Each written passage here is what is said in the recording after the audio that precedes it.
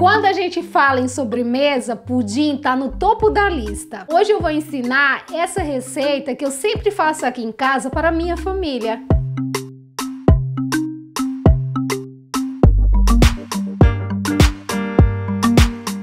Vou começar preparando a calda. Aqui eu tenho uma xícara de açúcar. Vou ligar o fogo e deixar em fogo baixo.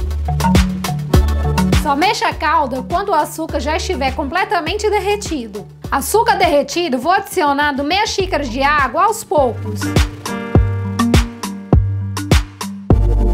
Vou deixar aqui no fogo até essa calda incorporar.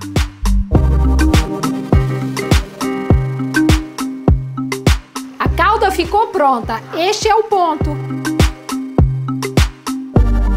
Eu tenho uma forma para pudim. Vou espalhar a calda pela forma.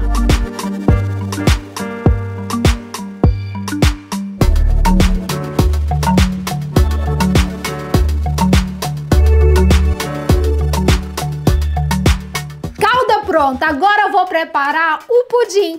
Três ovos uma lata de leite condensado.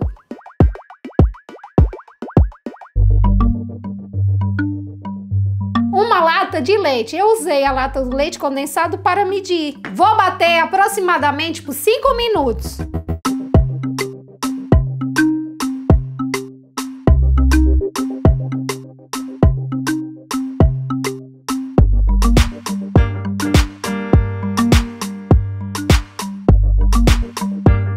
Para a panela não ficar escura, vou adicionar um pedaço de limão. Deixar o pudim cozinhando por 40 minutos.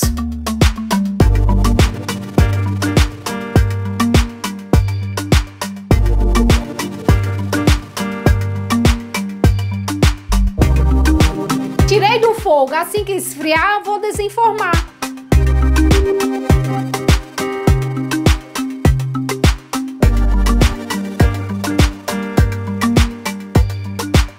Pudim é aquele tradicional que quem come um pedaço vai sempre pedir por outro.